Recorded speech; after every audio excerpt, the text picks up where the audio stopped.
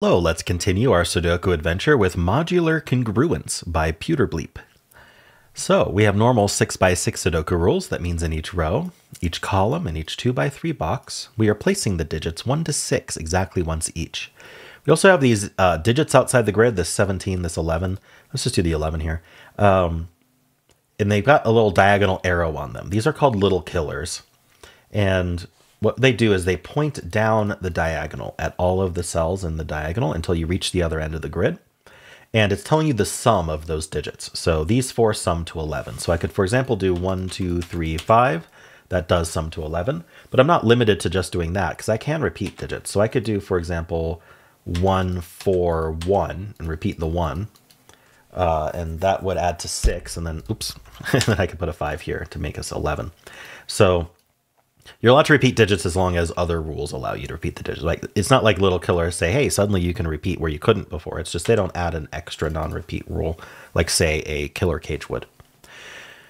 All right, and we also have these teal lines on the grid. These are this is one big modular line. So the way modular lines work is they um, every three digits that are adjacent on the line have to have one of each of um, uh, of remainders after dividing by three that, if that makes any sense. So we're basically grouping. We've got the 1 4 group, the 2 5 group, and the 3 6 group. So as long as I have one digit from 1 4, one digit from 2 5, and one digit from 3 6, I'm good. So the order doesn't matter. I could do this, or I could I could move the 1 4 to the middle, put the 3 6 here.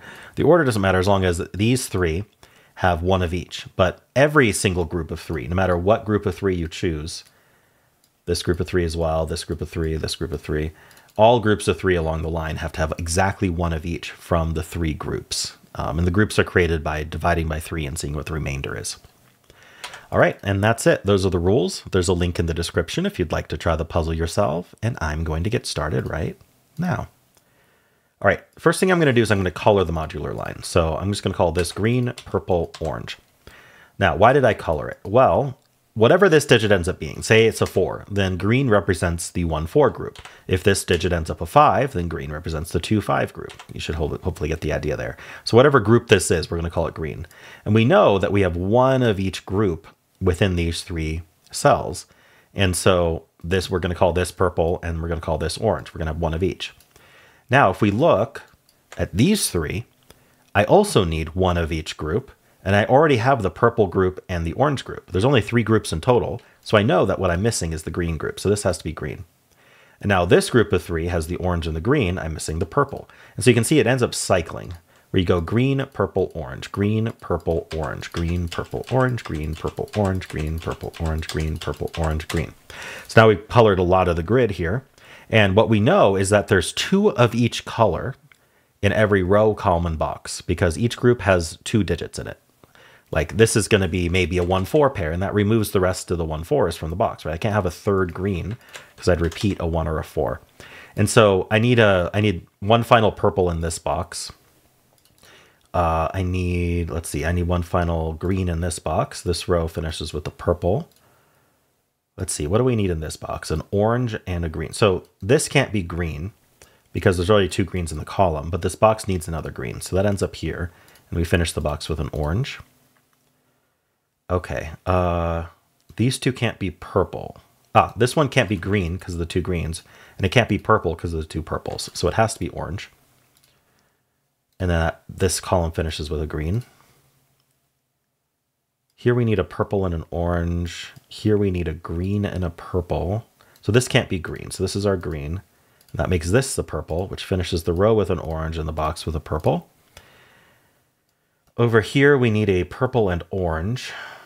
This can't be purple, two purples. Oh yeah, the column finishes with an orange. That's a purple. Lots of ways to finish this, I'm sure. And then up here, we do need both oranges. Otherwise, we need a green and a purple. I don't know that we know how this resolves. Oh, actually, we do. There's two purples in this row. So the final, and two purples in this column, two purples in this row. The final purple goes here. That finishes the column with an orange. Uh, this can't be green because of the row. So this is the green, and then this is the final orange. Okay.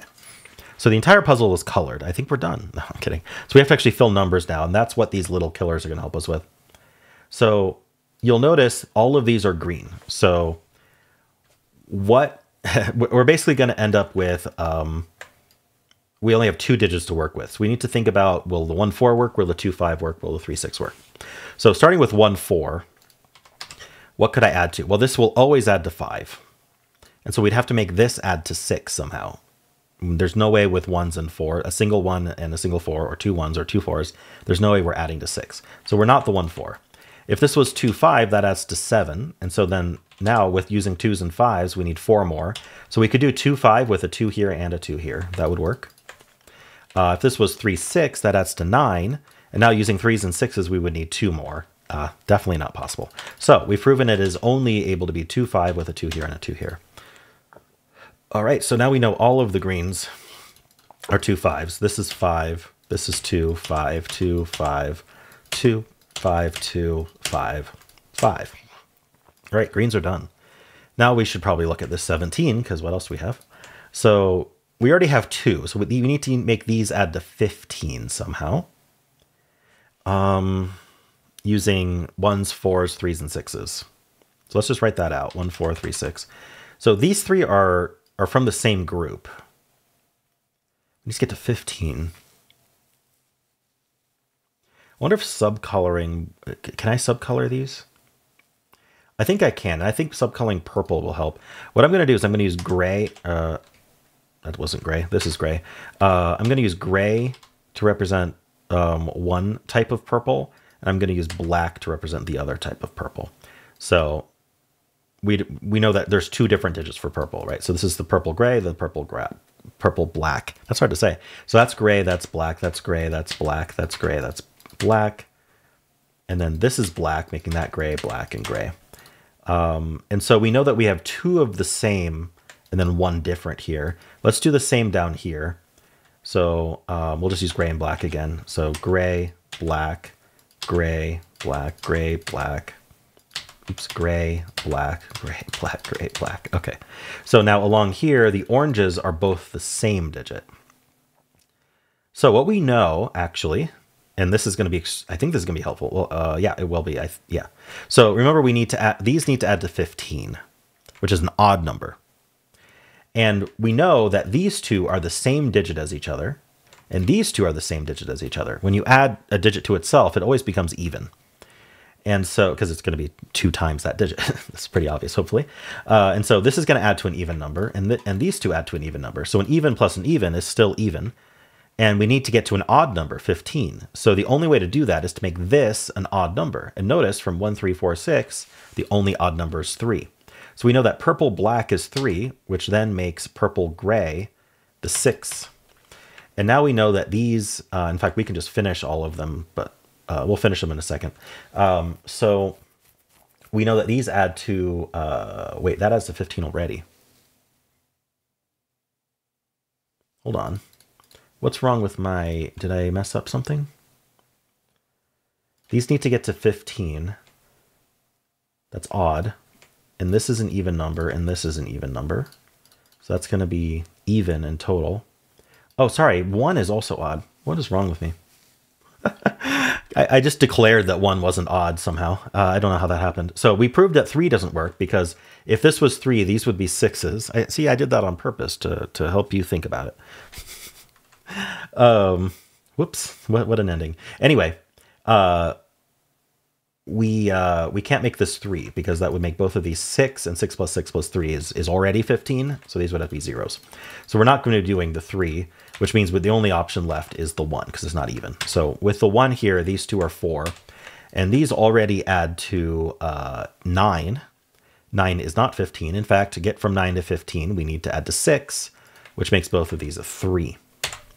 And so now we know exactly how to finish. So we know that all of the uh, orange grays are threes, and all of the orange blacks are sixes, and then all of the gray purples are fours, and all of the black purples are ones, and we have finished with a very colorful grid. all right. Cool. Um, that was a neat puzzle, Peter Bleep. Um, it's kind of your classic get the whole puzzle colored, and then little killers tell you how what the digits are. Um, kind of a, a, classic way of setting a puzzle where you know you you, you kind of solve two puzzles in one. But that, that was an interesting puzzle. I wish I wish I had realized one was odd instead of declaring it had to be three and then it didn't work. But anyway, let me know how you did. And if you enjoyed this, why not leave a like, subscribe, and a kind comment below.